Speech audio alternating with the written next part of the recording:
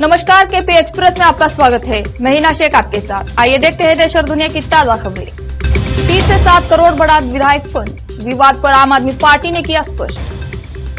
संसद में smoke attack पर लगा आतंकवाद का आरोप। सात दिन की पुलिस रिमांड पर भेजे चारों आरोपी। डेरेक ओब्रायन के बाद पाँच कांग्रेसी सांसदों पर गिरी गाज। लोकसभा से किए गए सस्पेंड। मुख्यमंत्री विष्णुदेव साय ने पूरी की पीएम मोदी की पहली गारंटी। छत्तीसगढ़ में बनेंगे गरीबों के 18 लाख घर। संसद सुरक्षा चूक मामले में छठे आरोपी ललित झा ने किया सरेंडर। हमले के बाद से था फरार। लद्दाख को हम मान्यता नहीं देते 370 पर सुप्रीम कोर्ट के फैसले पर चीन ने की हिमाकत। बीजेपी नेता हथेली काटने वालों के घर बुलडोजर चला। भोपाल में पाँच आरोपियों के तीन मकान ढहाए ने सीएम का पहला एक्शन।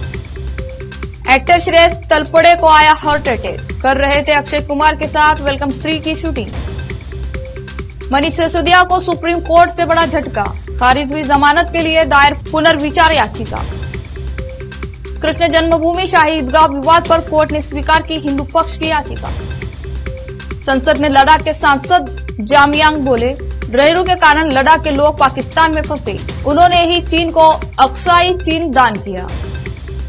पर्याप्त सबूत। बीजेपी ने तृणमूल कांग्रेस के विधायक के साथ संसद के आरोपी की सेल्फी पोस्ट की।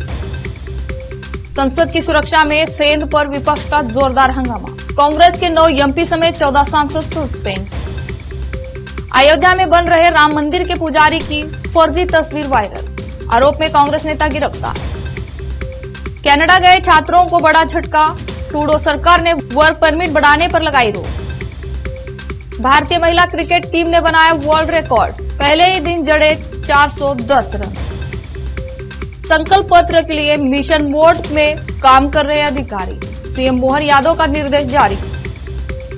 बॉयफ्रेंड ने पुलिस को दे दिया गर्लफ्रेंड का नंबर सिपाही ने कर लिया लड़की को किडनैप केपी एक्सप्रेस में इतना ही। देश और दुनिया की ताज़ा खबरों के लिए देखते रहिए केपी न्यूज़ ट्वेंटी धन्यवाद।